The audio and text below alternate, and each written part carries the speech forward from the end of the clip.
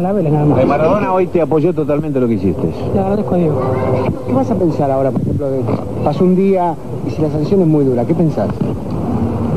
Mira, no sé. Digo, la verdad es que no sepa la, la sanción cuál es. Hasta el momento no pienso en nada. Pero yo tuve la verdad que lo volvería a hacer. Porque no me gusta que me carguen cuando me ganan, como te dije antes. Sin duda que hay un par de críticas de algunos moralistas, pero ellos no.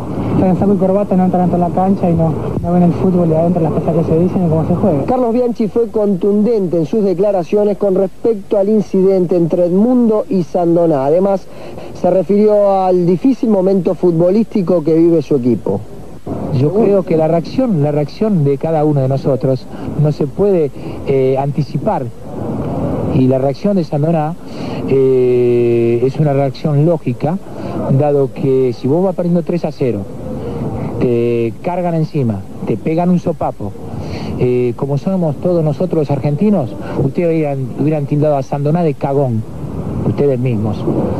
Pero ahora lo están cuestionando porque metió el la piña. Siguiendo lo futbolístico, ¿es preocupante que por primera vez en dos años y medio que Vélez pierda cinco partidos seguidos? No, hubiera sido preocupante que no hubiéramos eh, estado ahí durante dos años y medio, ahí arriba. Entonces, eh, eh, cuando vos pones a reflexionar bien las cosas, nosotros hemos perdido los tres últimos partidos del campeonato, ¿no? Son nueve puntos. ¿Y el primero cuánto nos lleva? Dos. No, dos. Que Lanús. Entonces, eh, ¿no sería mucho más preocupante los otros que en, que en tres partidos que hemos perdido nosotros nos sacaron nada más que dos puntos?